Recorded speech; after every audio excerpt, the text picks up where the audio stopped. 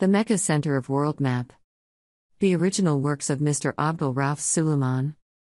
In the name of God, the most gracious, the most merciful.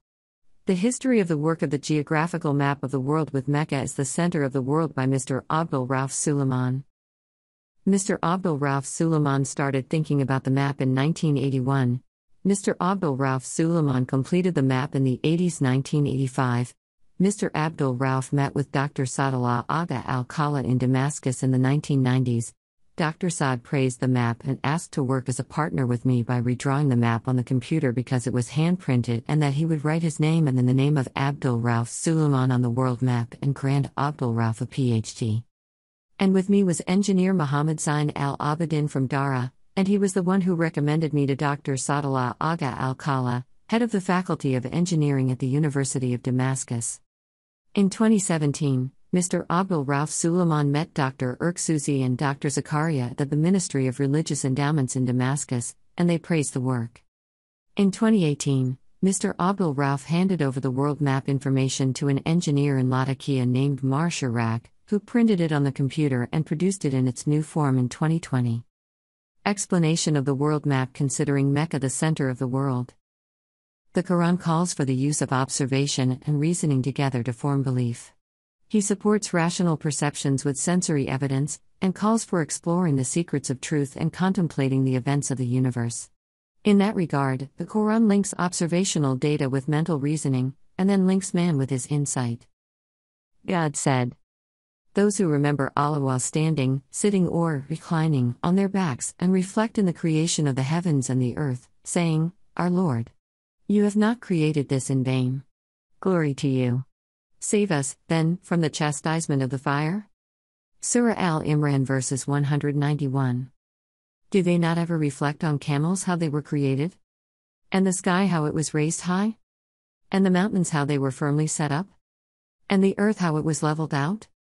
So, remind, O Prophet, for your duty is only to remind. Al Ghashiyah verse 17 21.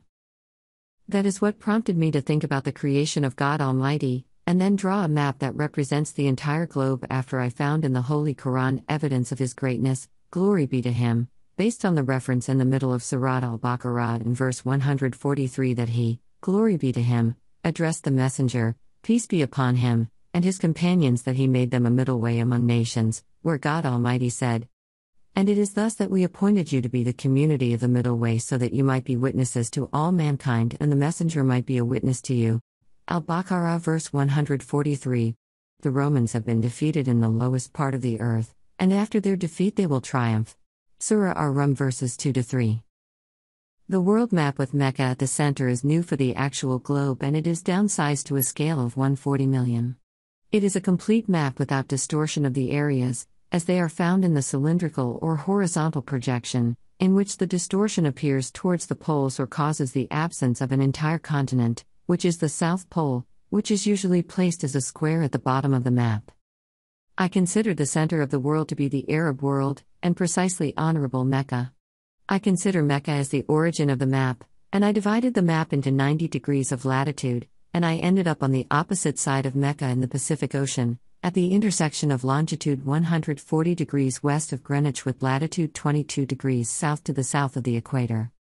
By following this method, I was able to obtain the entire land of the world surrounded by a full circle of the new map, with 40 degrees of width remaining free from the land which represents the water body located in the Pacific Ocean. And I ended up with the following observations.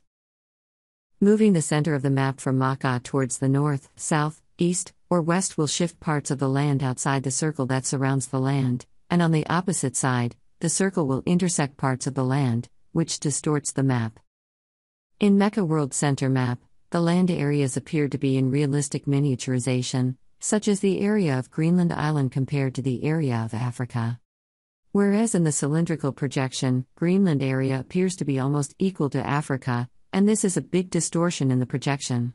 The Mecca World Center map can be used to turn the face of worshippers toward the sacred mosque in Mecca or Qibla easily. It can be used to show the ring of fire of volcanic and seismic activity that surrounds the world. It can be used for education or any other uses. Note, if there are other maps of the world, then they result from shifting the latitude of Cairo by 30 degrees slightly, toward the south, as it is found in the atlases, from which I copied the map with the name of the atlas and who wrote it. References Atlas of Syria and the World. The Arab Atlas and the World. Atlas Tarbin. Atlas Oxford. School Geographical Atlas.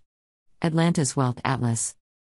The Mecca center of world map size is 192 centimeters in length and 82 centimeters in width. Copyright 2020 Abdul Rauf Suleiman.